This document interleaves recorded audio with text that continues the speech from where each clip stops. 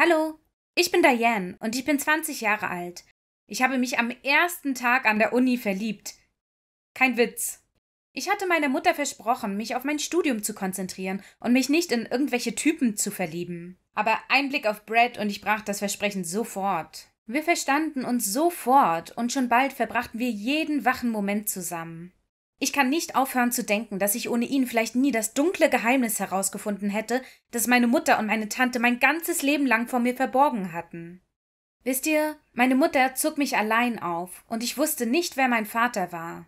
Also, es schien, als sei meine Mutter herumgekommen. Sie wollte also wirklich nicht, dass ich in dieselbe Situation gerate wie sie. Ich beschloss, Brett geheim zu halten. Sie brauchte es ja nicht zu wissen, oder? Als ich in den Weihnachtsferien nach Hause fuhr, vermisste ich Brad so sehr. Aber ich konnte meiner Mutter nicht von ihm erzählen, also wartete ich, bis sie ins Bett ging, bevor ich ihn anrief. Eines Nachts erwischte sie mich allerdings. Sie muss auf die Toilette gegangen sein und plötzlich hörte ich Schritte. Sie stand genau dort. Ich weiß nicht, wie viel sie gehört hat, aber es war mir so peinlich. Ich dachte, sie würde mir das Telefon wegnehmen und mich ausschimpfen, aber stattdessen ging sie einfach zurück ins Bett. Es war so komisch. Am nächsten Morgen saß sie grinsend am Küchentisch und sagte Na, wer ist er denn? Lad ihn doch mal zu uns ein. Sei nicht schüchtern. Ich konnte es nicht glauben. Ich dachte, sie würde ausflippen, aber stattdessen wollte sie ihn kennenlernen. Sie schlug vor, ihn zum Abendessen einzuladen, da meine Tante an dem Abend auch kommen würde. Meine Mutter und meine Tante waren wie beste Freundinnen und hatten mich im Grunde gemeinsam großgezogen. Also war ich aufgeregt, dass sie Brad auch treffen würde. Er nahm an diesem Nachmittag den Bus, da er mich unbedingt sehen wollte, und meine Mama sagte, er könne im Gästezimmer übernachten. Sobald meine Mutter Brad sah, grinste sie mich an und flüsterte mir zu, wie gut er doch aussehe. Dann setzten wir uns zum Essen und fingen an zu plaudern. Meine Mutter hatte so viele Fragen an ihn und es war etwas peinlich. Sie wollte nicht aufhören und wirkte dabei so neugierig. Sie fragte, wo er aufgewachsen ist und was seine Mutter und sein Vater machen und fragte sogar nach ihren Namen und so. Währenddessen saß meine Tante einfach nur still da und dann stand sie irgendwann vom Tisch auf und ging in den Garten. Meine Mutter lief ihr nach und Brad sah mich besorgt an. Ich hatte keine Ahnung, was los war. Zehn Minuten später kam meine Mutter rein und ihr Ausdruck hatte sich total verändert. Sie war nicht mehr warm und freundlich, sondern total streng und kalt. Sie schaute Brad und mich an und sagte, sie habe entschieden, dass ich viel zu jung sei, um einen Freund zu haben, der bei mir übernachtet. Und dann bat sie Brad zu gehen. Ich konnte es nicht glauben. Ich meine, ich war 20 Jahre alt. Sie war so unhöflich. Also sagte ich zu ihr, Mama, warum? Kann er einfach bleiben? Ich flehte sie fast an, aber sie sah so ernst und bestimmt aus, und ich wusste, dass sie ihre Meinung nicht ändern würde. Brad war sogar noch schockierter als ich. Ich meine, meine Mutter hatte ihn überhaupt erst eingeladen und jetzt scheuchte sie ihn weg.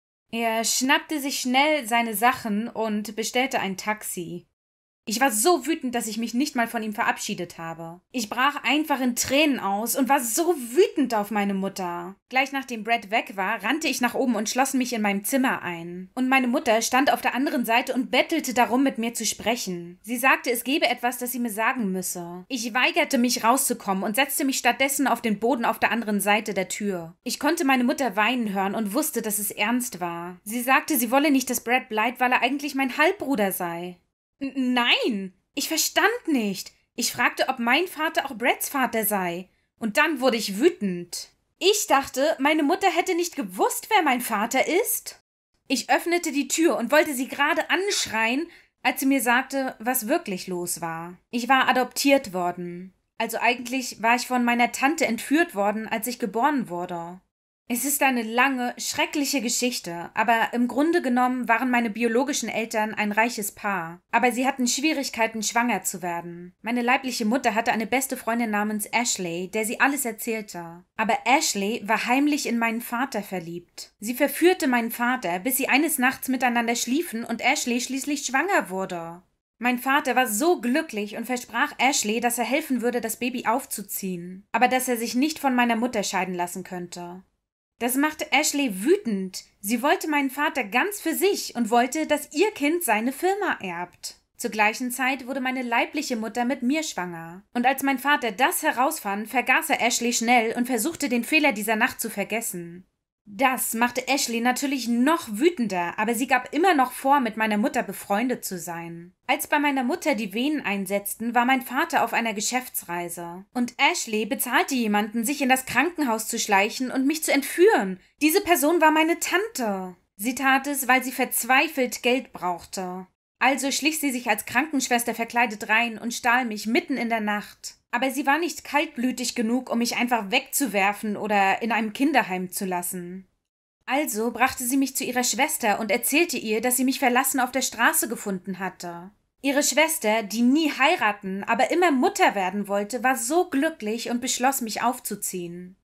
Aber ein paar Tage später war es überall in den Nachrichten ein vermisstes Baby. Es gab eine genaue Beschreibung meiner Kleidung und sogar ein Foto von mir, kurz nachdem ich geboren worden war. Es war nicht zu leugnen, dass ich das vermisste Baby war. Meine neue Mutter konfrontierte meine Tante damit und fand die Wahrheit heraus. Meine Tante sagte, dass es keine Möglichkeit gäbe, mich zurückzugeben, da meine Tante bereits das ganze Geld ausgegeben hatte, das man ihr bezahlt hatte, um einige Schulden zu begleichen. Und sie wollte nicht ins Gefängnis gehen, also beschlossen sie mich aufzuziehen, als wäre ich wirklich ihr eigenes. Das Geheimnis wäre immer noch vor mir verborgen gewesen, wenn ich Brad nicht mit nach Hause gebracht hätte. Meine Mutter war so schockiert, dass ich den Sohn von meinem Vater und Ashley zu ihr nach Hause gebracht und ihn ihr als meinen Freund vorgestellt hatte. Als meine Mutter mir das alles erzählte, saß ich einfach nur erstarrt da. Es war absolut unfassbar. Ich fühlte mich krank. Sie hatten mich all die Jahre belogen. Und noch schlimmer, mein Freund war in Wirklichkeit mein Halbbruder. Mein ganzes Leben war ein einziges großes Chaos. Ich hasse dich, Mama, und ich hasse dich auch, sagte ich zu meiner Tante.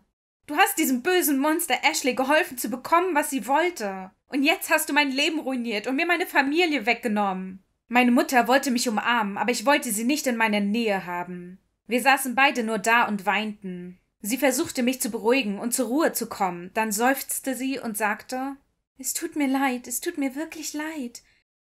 Dein ganzes Leben habe ich versucht, es wieder gut zu machen. Ich dachte, meine Liebe zu dir wäre genug. Was Ashley betrifft, nun, ich habe gehört, dass sie am Ende nicht bekommen hat, was sie wollte. Was? Warum? Das verstehe ich nicht. Aber sie hat mich doch tatsächlich entführt, oder?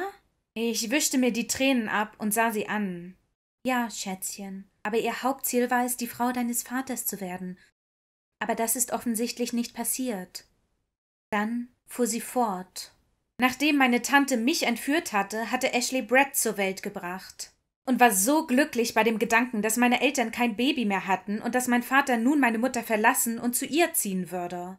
Aber so war es nicht. Ja, ihre liebe Tochter wurde ihnen weggenommen. Aber mein Papa blieb trotzdem bei meiner Mama und liebte sie noch mehr. Mein Vater kam nicht mit Ashley zusammen, aber scheinbar half mein Vater immer noch, Brad großzuziehen. Sie haben sicher kein schlechtes Verhältnis, denn ich habe Brad schon oft über seinen Vater reden hören. Jetzt gab es nur noch eins. Ich musste meine biologischen Eltern finden und den Rest der Geschichte rausfinden. Sie verdienten zu wissen, dass ich am Leben war. Aber was würde ich jetzt mit Brad machen? Ich würde irgendwie mit ihm Schluss machen müssen.